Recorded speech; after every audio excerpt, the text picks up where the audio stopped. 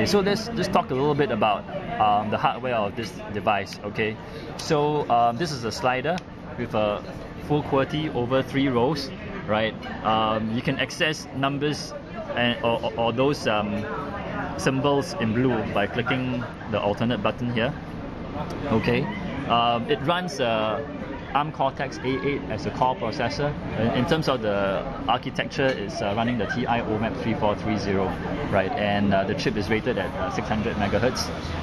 Uh, this is a resistive touchscreen, 800 by 480 pixels. Okay, uh, it comes with 332, sorry, gigabytes of uh, built-in memory, right, and one gig of virtual memory, uh, and then one gig of virtual memory uh, is broken down into 256 RAM, and then uh, the remaining 700 plus will be virtual. Sorry, when I said one gig, I meant application memory. Okay. so um, behind here, you can see uh, Carl Zeiss 5 megapixel camera. Okay, that's the one. And then there's a very handy kickstand. You can put it here and you can watch movies. Uh, I've done that on an aeroplane several times uh, and I think it beats watching whatever in-flight movies there are. Uh, speaking of movies, uh, th this device uh, supports multiple uh, codecs, so things like um, you know XVID is supported as well. I would like to highlight, and the rest of them are pretty much uh, you know quite common, but XVID uh, in particular I would like to highlight. Have you tried anything that is uh, 1080 or just 720p? Um, I, I, I, I, tried some 720. I'm not. I, I can't really comment on 1080. Okay. Yeah. So yeah. 720 should be fine. Uh, 1080 will be too stressful. yeah, I, to a certain extent.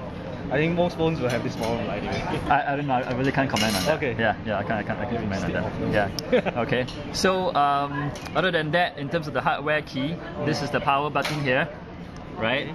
And this obviously is the camera shutter button, right? And then these buttons up and down really depends on which application you're in. Let's say in the web browser, then this allows you to zoom in and out. Uh, if you're listening to music, then it's a volume control, right? And um, then here you have a micro USB port which is used for transferring data um, as well as for charging the phone right? And on the other side here uh, you have a hardware screen lock. So you just twitch it and then the screen you know becomes sort of, sort of uh, protected right? And then this is your 3.5 mm for audio right? And then this particular thing here is a handy little thing for your stylus yep and um, how about expandability, right? So this is the battery, right? It's uh, 1320 mAh. Um, in terms of uh, talk time, it's about 5 hours WCDMA. Uh, if you use on online and all that, uh, it should last you more than a day, right?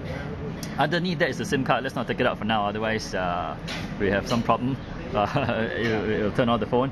Here you have a micro SD card so uh, depending on what card you use, up to 16 gigs I think you can buy in the market these days. Class, uh, class 6 or class 10 also.